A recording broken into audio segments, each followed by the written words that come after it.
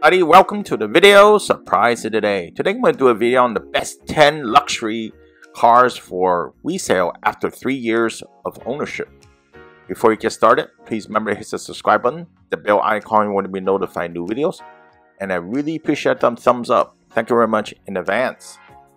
These data are compiled by CarEdge.com, one of the sites that you could get very independent data for your vehicle and how much it's worth over time, as in all cars, they do depreciate. Okay, start with the list of number 10, Mercedes-Benz Sprinter. It's 73.18%, so it holds quite a bit as its value. But this one is a little bit odd, because definitely it's more like a vehicle that you use for work, more than recreation or driving on the, on the weekends and such. So definitely a work vehicle, and that made the list of number 10 that holds its value. So that's really great. Okay, next we have the Land Rover Range Sport at 73.31%. So this SUV in particular definitely holds its value for the first three years and it does and also still looks pretty good. So it's actually good to lease one of these vehicles. But you know, the only one, my opinion, is basically not too reliable over time. So keep that in mind. Okay, so next, number 8, we have the Lexus GS350 at 74.20%. So this one, the GS350 is a Toyota product, has been discontinued after 2020.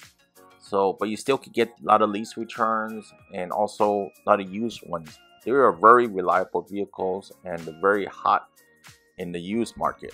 So if you want to get a sedan, this is definitely one of the better ones out there. Number 7, Audi R8, 74.62%. Definitely holds quite a bit of this value. Definitely a very sporty car. You can see it over here. And it's very expensive, you know, so keep that in mind. And a lot of people want to drive this one. Not only it looks good, it's very sporty, it handles really good, and definitely a true sports car. Okay, next we have number 6, the BMW 2 Series at 74.85%. So definitely worth looking if you don't want to spend a whole lot. You go for the 2 Series instead of the 3 Series. So definitely an alternative, and it's a nice looking vehicle if you can see, you know, and gives you a lot of bang for the buck, and also retains its value quite a bit. Number five on the list is a BMW X3 at 75% so it holds 75% of its value over three years. That's pretty good for this particular SUV. And not only that, it actually drives really good and it's very nice, comfy inside with a lot of luxury features. So definitely a great bang for the, the buck on this particular SUV. And like all other SUVs, this is the new trend that's heading towards. Okay, next we have the Audi A5 at 75.24%. So it holds its value 75.24%. That's pretty good overall. And you can see that it's a four-door sedan in this particular one. And sedans usually are not that in pretty much, but this Audi is not is an exception, I guess. So this Audi A5 definitely holds its value over three years. Okay, next we have the Lexus RX 350, 75.39%. So this is really great for a Toyota product. It's the best one for the Toyota product and it's an SUV at the same time. So Lexus RX 350 doesn't have a lot of problems mechanically and also it's very luxurious inside. So the thing is like it's a SUV but also is very reliable and also retains its value over three years. That's really good.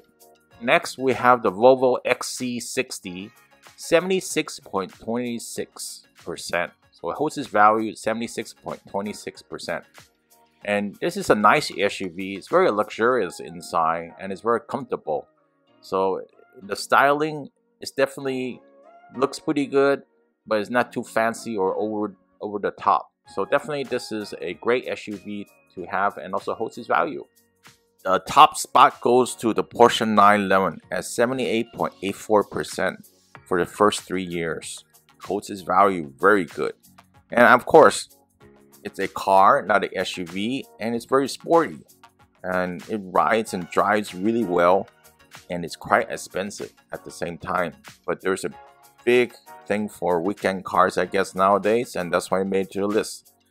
So that's my video surprise today. Hopefully you help me out for thumbs up so that people could see the video. Please leave a comment below to help others or you have a comment to share up with one of these vehicles. And I see you next time. Have a good one. Bye.